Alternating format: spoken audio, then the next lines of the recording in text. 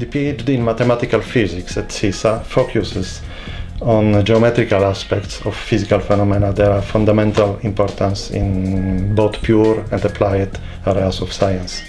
We have a common teaching course with PhD in geometry and uh, close collaboration with mathematical analysis and applied mathematics. We are not far from some other curricula in physics, but the main difference concerns the mathematical precision which means that our work requires clear formulation of definitions, statements, assumptions, clear statement of the results, and a mathematical proof.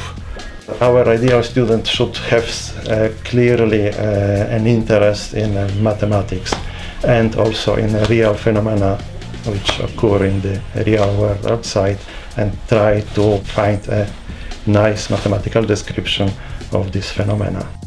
I've decided to come to SISSA because I've always wanted to study mathematical physics, and there was a group here who did exactly what I wanted to do. And moreover, it's one of it's maybe the best place in Italy to do a PhD program because of the quality of the teachers and the quality of the life of the students here.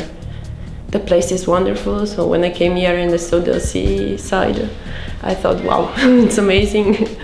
and fortunately, I got uh, admitted, so I'm here.